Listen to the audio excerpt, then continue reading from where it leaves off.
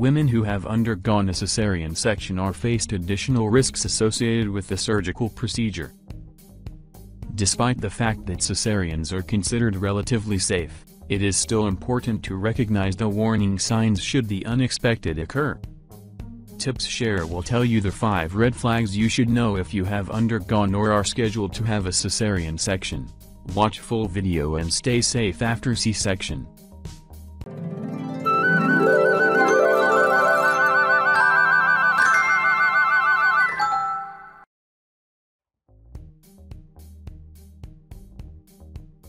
While it is not unusual to run a slight fever following a cesarean, you should contact your doctor immediately if you either have a temperature over 100 degrees Fahrenheit or a low-grade fever that lasts for more than 24 hours. A high or persistent fever is often the first sign of an infection. Certain women may be at higher risk of infection than others. These include women who are obese, have diabetes, or take long-term steroid medications. A prolonged labor and or excessive blood loss during the delivery can also contribute to the infection risk.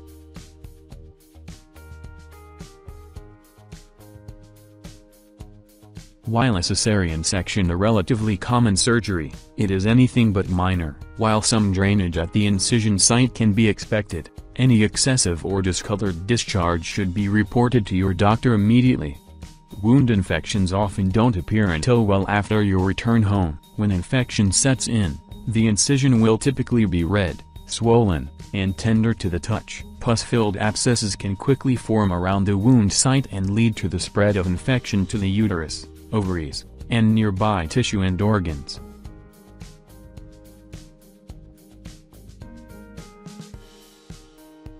Pain and surgery go hand in hand but can usually be treated with the appropriate painkiller. However, the pain is severe, fails to improve, or worsens when you return home, you may need to call the doctor. Severe pain, by contrast, is never considered normal. This not only includes abdominal or pelvic pain but postpartum cramps that fail to get better after the third or fourth day.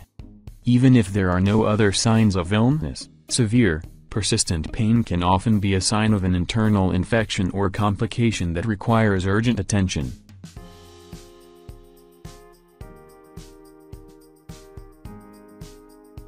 After surgery, it is not uncommon to feel a little discomfort when inhaling or exhaling, however, breathing problems that persist or worsen is never a good thing. This sort of problem can sometimes occur in women who had been given general anesthesia as part of the cesarean procedure. Anesthesia is known to hamper normal breathing and can often lead to the buildup of mucus in the lungs.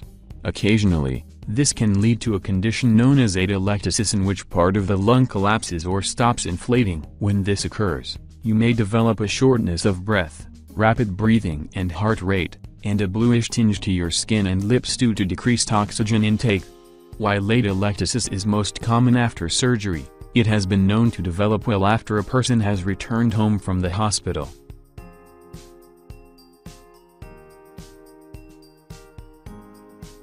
Bleeding is as common after a cesarean section as it is following a vaginal birth. This is due to the normal shedding of the placenta following delivery. In most cases, the bleeding will gradually taper off and subside.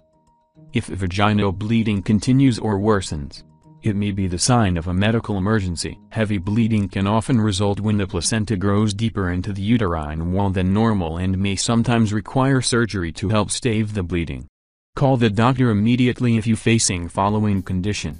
Bleeding that soaks through a pad in 15 minutes. Bleeding that soaks through more than one pad per hour for two consecutive hours. Alternately, if there is no bleeding at all, it may be also be a cause of concern particularly if you are experiencing pain and fever. The same goes if you have blood in your urine. It's best to have these checked out even if you're not entirely sure what you're experiencing. So, if you face any condition like these 5 then don't neglect them and meet your doctor as soon as possible. Stay safe after the delivery and be happy with your newborn baby.